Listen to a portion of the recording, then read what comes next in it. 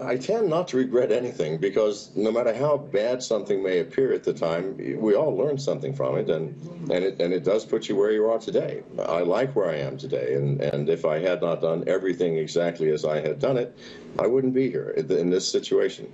So I, I don't regret it. Uh, I, I, do wish that I were smarter socially. I mean, I, I, think I, I have the ability to solve mathematical equations and, and programming issues very, very easily, but I am a little bit naive in, in, in some social situations, and certainly in Belize, I was way naive. And one of the other famous stories that came out of there was obviously your girlfriend, Amy Emshwiller, uh, who the reports I think you've talked about tried to shoot you in the head, and yet you didn't kick her out afterwards. That, uh, to a lot of people, that would be a surprise. Tell me why, what made you decide to do that?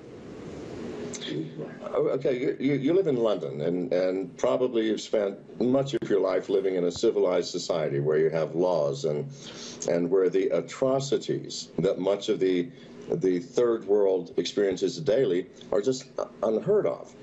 Um, Amy, for one, and, and many girls in, in Belize has a horrific story of abuse, which if I told you, you could not believe it. Um, of course she's not going to be well. Of course she's going to have, you know, issues. Um, you know, when she tried to shoot me in the head, what I saw was was a frightened child. What I saw was a a, um, a confused girl that had been so abused physically, sexually, emotionally, beyond any description. That what are you going to do? I mean, throw her out. Uh, that doesn't help her. Uh, all she did was burst my eardrum. I'm, I'm deaf in one ear now, but I don't have a bullet in my head.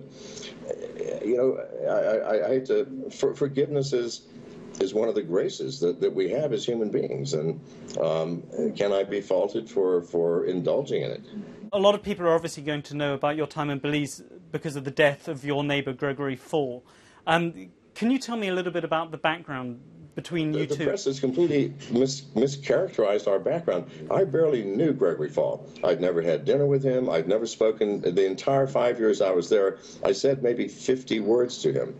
Um, he did not like my dogs, and the, the, the past two occasions I had seen him walking the beach, he, he complained. But so did everybody. My dog, I had a lot of dogs. They barked. I complained about my dogs, and I tried to do everything I could to calm them down. But to, to say that we had a running fight or an argument, that's totally absurd. He had filed a complaint against you. Boy, that was news to me, and I did not find that out until weeks after I came back to the States. No one told me he had filed a complaint. I mean, he went to the, uh, you know, Belize is not like America where you file a complaint and then the police come out and checks things out. You file a complaint and it goes into a drawer. And unless he would have told me specifically, I would not have known. I had no idea he had filed a complaint. Uh, when did you first hear that he had been uh, shot? That was the following morning, and my caretaker told me. And the first thing I thought of was the first thing that came to my mind was, oh my lord, the government's finally trying to rid themselves of me, uh, which the government does from time to time. And I had certainly been a huge thorn in their side. And they simply got the wrong white man. Uh, seriously, this is what went through my mind. Um, you know, my, my friends sort of calmed me down later and, and you know, said, no, that's absurd. At, at the time, I did not think so. But you decided to go into hiding?